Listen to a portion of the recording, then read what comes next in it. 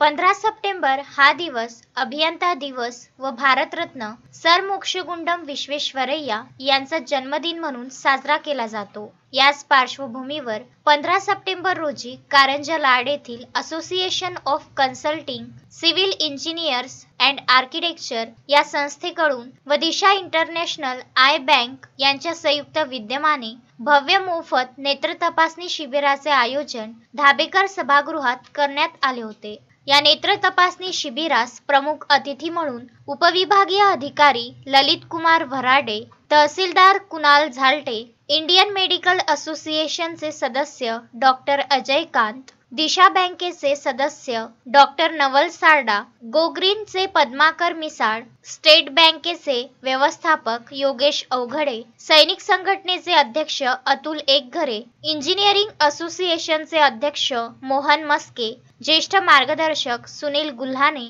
Sanjay Wankhede architecture Dilip Dahake यांची उपस्थिती होती.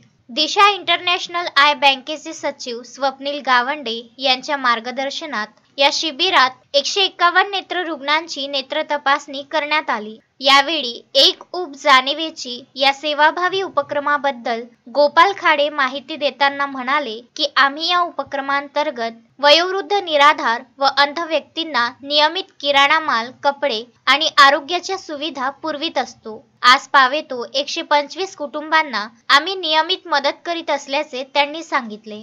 तसेच डॉक्टर अजय कांत सुनील गुल्हाने संजय गावंडे अतुल एकघरे यांचेही समायोजित भाषणे झालीत. शहरातील कुलथे परिवाराने स्वर्गीय मुकुंद गजानन कुलथे यांच्या मरणोत्तर नेत्रदान करून अंधत्व निवारण मोहिमेला मदत केल्याने कुलथे परिवार यांचा तसेच स्टेट बँकेचे शाखाधिकारी योगेश अवघडे यांचा दिशा इंटरनॅशनल आय बँक तर्फे सत्कार करण्यात आला. कार्यक्रमाचे सूत्रसंचालन सौरभ गुगलिया व भाग्यश्री खत्री यांनी केले. तर आभार प्रदर्शन अजय राऊत यांनी केले.